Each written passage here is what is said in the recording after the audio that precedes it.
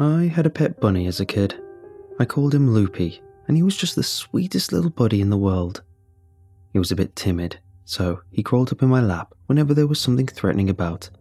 And to a tiny prey animal, the entire world can seem like a threat.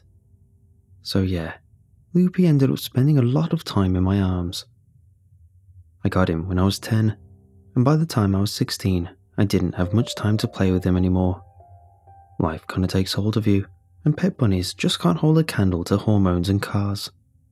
Sometimes I forgot to feed him, and I barely let him out to play. If it hadn't been for my mom checking in on him, he probably would have gotten sick or starved. Loopy passed away on my 18th birthday. When my mom called me to tell me about it, I was at a party. I didn't even cry. But sometimes time puts things in perspective.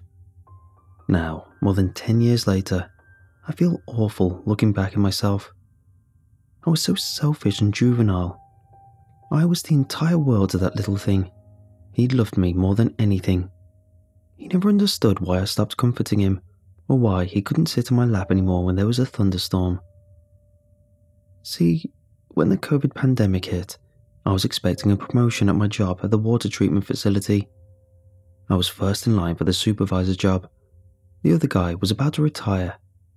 Then came the pandemic, and things got all kinds of messed up. My dad caught it, bad, and we had to sell a few of my old things just to stretch the paychecks a bit.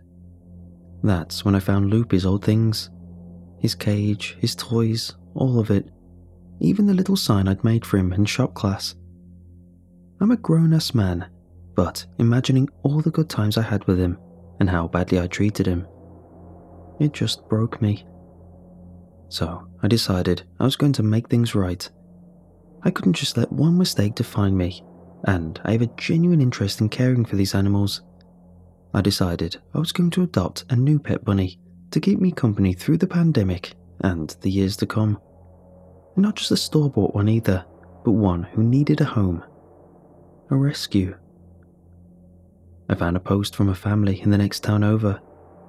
They were having trouble taking care of their bunny, as they suddenly had to change their work schedules and work extra shifts to make ends meet. They couldn't take care of it in good conscience, so they put it up for adoption.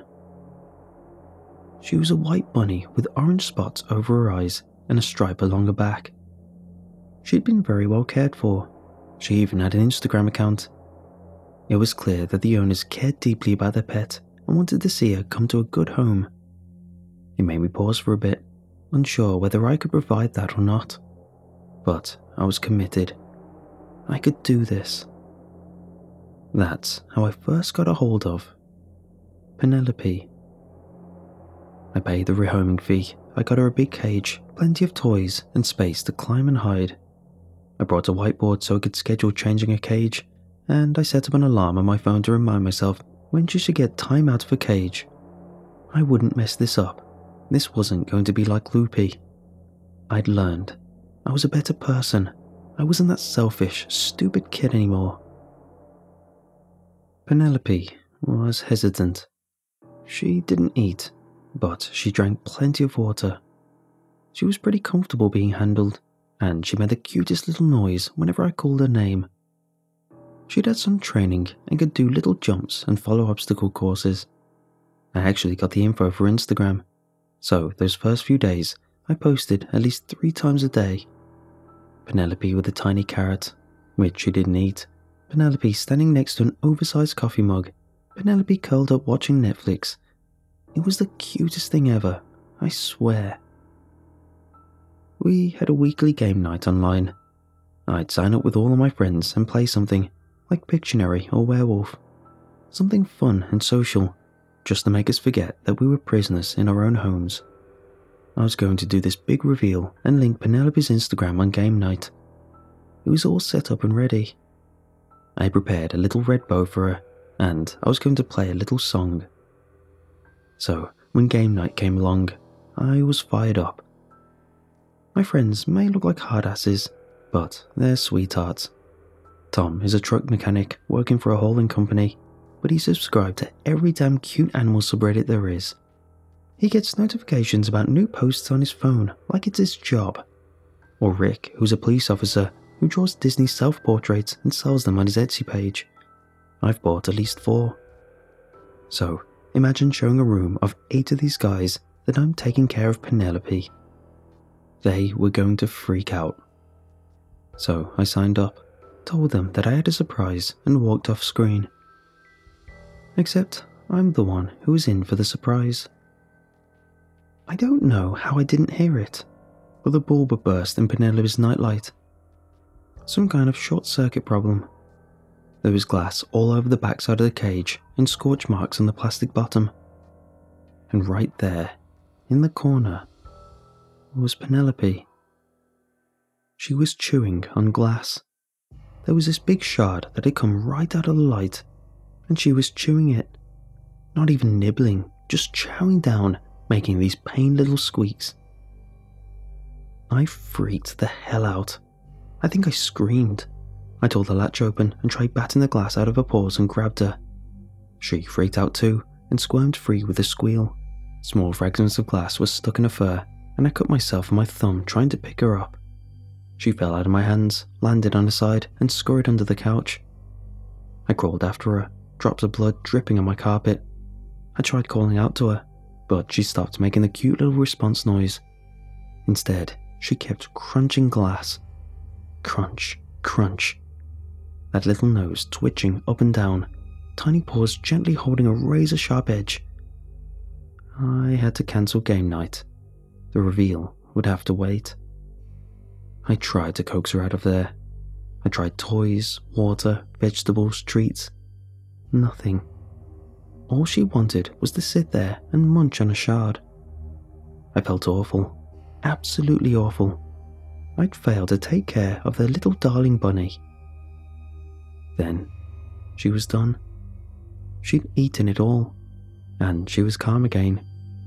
She came up and poked her nose against my bloody thumb, and I almost cried with relief.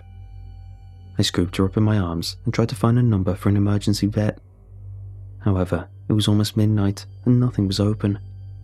The few places you could call during an emergency were either closed due to COVID or had queues that lasted for hours. I tried going online to find a chat, posting in forums, anything, but this was urgent. Never did I even consider that Penelope was fine. But she was. She just liked being carried. As she slept on the couch, I cleaned her cage and put in a new bedding. I pulled in my comfiest chair so I could watch her all night, just in case she got worse. She looked so peaceful that I was scared she wouldn't wake up. I carefully put her in her freshly cleaned cage, and she fell asleep instantly. I just sat there, watching her, she slept without a hitch through the night, unlike me. The next day, I finally got a hold of a vet. I told them about the glass, and they just didn't believe me. If that was true, she'd be dead, they said. There's just no way for a bunny to survive that. They could take a look, but the price hike was insane. They didn't deem this a reasonable emergency. They just didn't believe that she'd actually eaten glass. I honestly considered paying up, but the bills had already been piling up since my dad got sick. I hadn't realised I could be looking at a sizable vet bill in the first week. I tried keeping an eye on her myself, but she was sneaky. She would slip out of my sight and hide, and I could find her chewing on things. Not to eat, but to test them, like she was looking for something. One night, as I was falling asleep, I heard this strange thumping noise. Rhythmic. I turned on the lights, but couldn't see anything. As the thumping stopped, I just pulled up the covers and got back to sleep. I imagined hearing something in the living room, but I couldn't be bothered. Maybe I was being lazy, or maybe the sound really was just subtle. The next day, I walked into a scene I'll never forget. Penelope had gotten out of her cage and rammed her head against my bookshelf. A few things had fallen off a picture frame, a few books, a teddy bear, and finally, a bowl of glass marbles.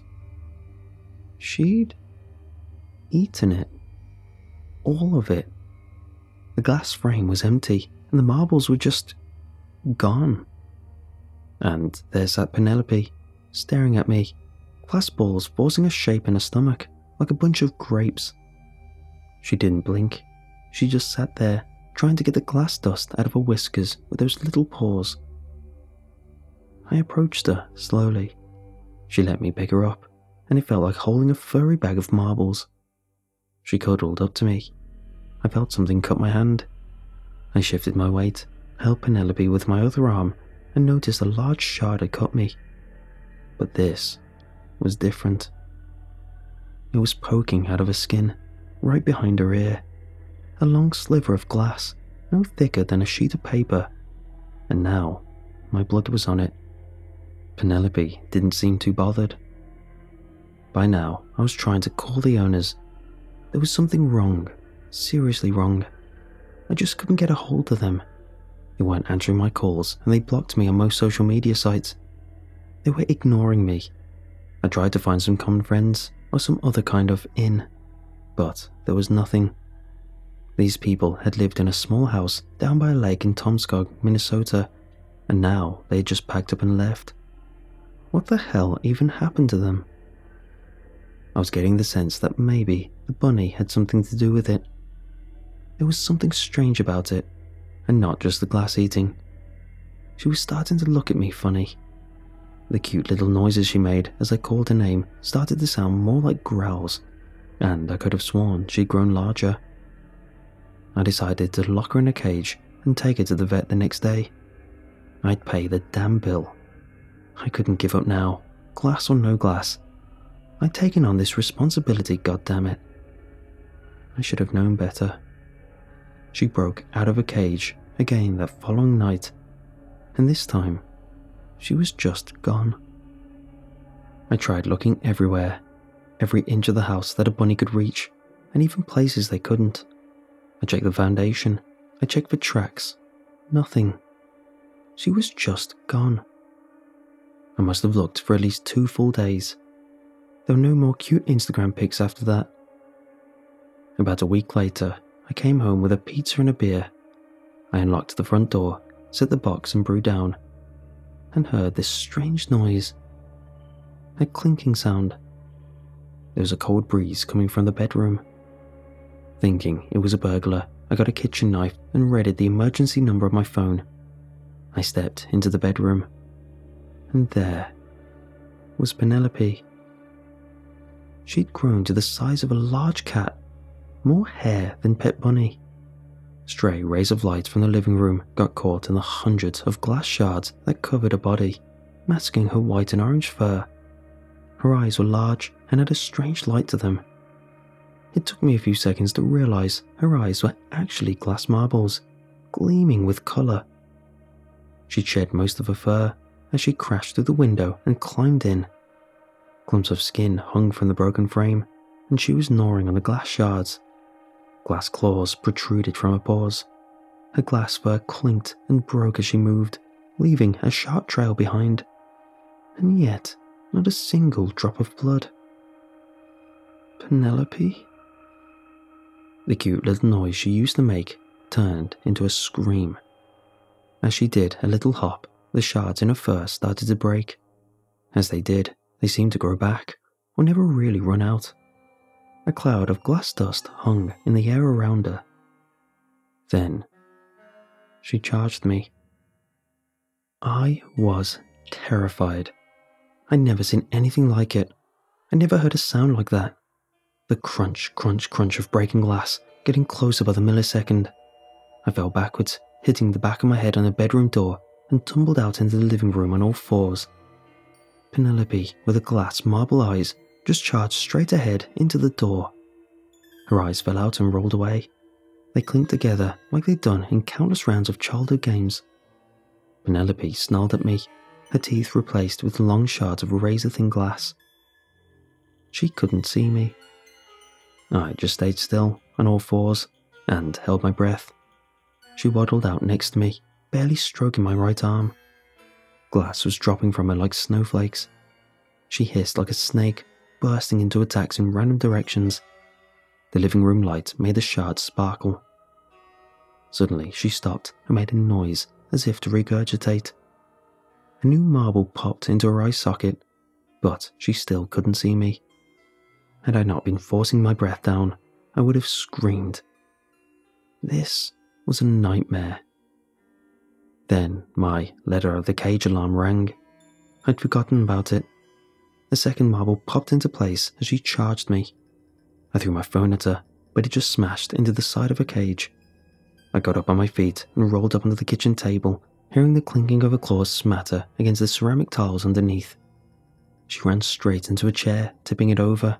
She thrashed in a rage, rolling around, spreading glass everywhere, like some kind of crocodile death roll. She attacked the chair over and over, making sure it wasn't moving. I just sat there, knees curled up to my chin, shaking like a leaf. She slowly walked around, listening for clues. She made this strange croaking noise while still under the table, sounding like a frog. As she started banging her head on one of the table legs, I panicked. I had to get out of there. I counted down from three, rolled off the table, and burst into a sprint. Only it ended far too fast.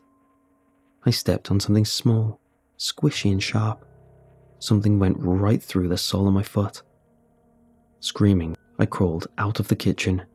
My foot was bleeding all over the white tiles, and there, peeking out from under the kitchen table, was Penelope. I'd crushed half her head, but she didn't seem to mind. Now she had the space for three marbles in her head instead of only two. With every hop, more marbles tumbled out, like a broken goddamn gumball machine. I crawled back, screaming incoherently I caught the edge of the hallway carpet and had an idea. I pulled it up, dust and all, and threw it on Penelope as she charged. I crawled up, wrapped her in it, and put the entire thing in a black garbage bag. I barely even remember limping around the kitchen looking for duct tape as the enraged thing twisted and turned, desperate to get out. I'm not proud of beating that bag, only to freak out once it started twitching again. I'm not proud of trying to run it over with my car, and I'm definitely not proud of setting the damn thing on fire. But what was I supposed to do? Bottom line is always kill it with fire.